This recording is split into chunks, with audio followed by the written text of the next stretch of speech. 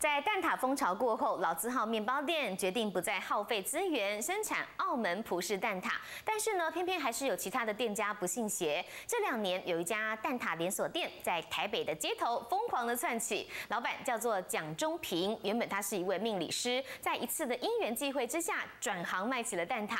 原本亲朋好友都说不看好，我老板哦一口气可是开了十几家的分店，每天呢卖出五万个蛋挞，还准备在二零一六年。上市上柜呢？这个蒋中平他卖的蛋挞有什么不一样呢？现在我们就到生产部门一块来看看。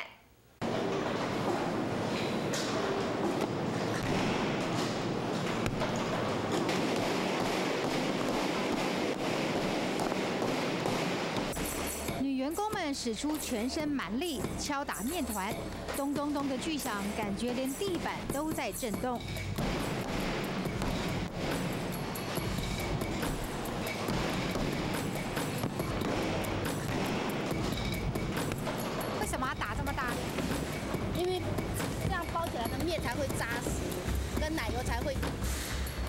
在一起呀。从早到晚拿着木棍打上打下，每个女生都练出结实的二头肌。其实很，是在这里练的吗？对对对对，锻炼身体。早上手都起抬不起来啊，连牙杯都拿不住啊。牙杯拿不住。对啊，可是过一段时间，哎，就好了。所以，对啊，我们一年到头都不会生病。很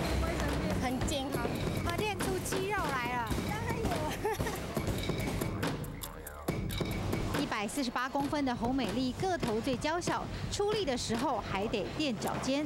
在这边上班以后啊，就变得很很结实。你意思是说，在这边还有还有瘦身到吗？对呀，我第一个目标是减肥，第二个目标就是赚钱。那减了多少啦？五公斤吧。这群吃苦耐劳的娘子军制作出来的蛋挞，塔皮酥脆，内馅儿还会跳舞。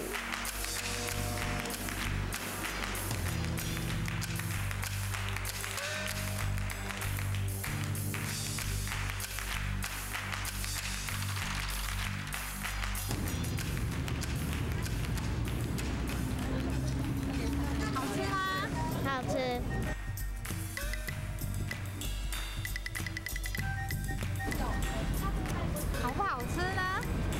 好吃嗎。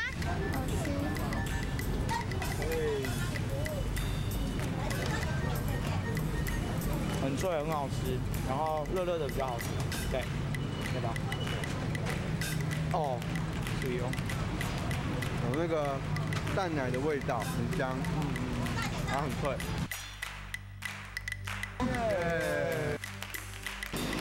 店的老板蒋中平一天可以卖出五万个葡式蛋挞。叠起来的高度超过五栋一零一大楼。目前，他以一个月两家店的速度拓展门市，十三家店的年营业额上看十亿。二零一六年还计划要上市上柜。卖蛋挞可以卖到上亿身价，命理师出身的蒋中平，成功的过程很传奇。他投入蛋挞业才不过短短几年，从十平的店面开始做起。当时葡式蛋挞早就退烧，他还是坚持转行。家人反对，外人更是看衰。我刚从北投一家小店的时候，我们的烤箱，我那时候买中国的烤箱，正要下去的时候，那隔壁大楼管理员就走过来，就在就说我们有点脑筋坏掉，什么？这时候还在做这些事情。正要下去而已，烤箱正要下，从从货车要下到地面的时候，就这样。对，大家都不看好。蒋中平很有信心，因为他第一次做蛋挞，成绩就很惊人。五年前，女儿的小学办园游会，指定要卖蛋挞。从没做过糕点的蒋中平，赶紧去买食谱研究，花了一个晚上制作烘烤。结果园游会当天，三百个蛋挞不到半小时就卖光光，也让他兴起卖蛋挞的念头。我觉得事在人为啦，好，事在人为，有人做不好，一定也有人做好，所以很多人觉得我很固执啊。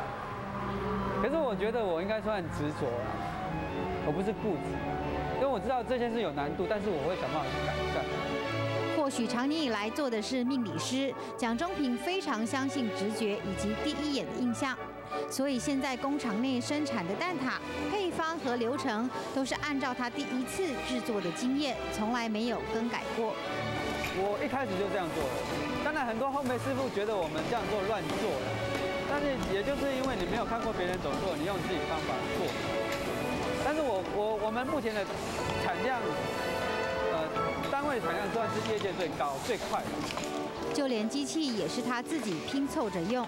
这机器是本来是做牛轧糖的，牛轧糖，对我们只能说发挥充分发挥克服问题的一个方法。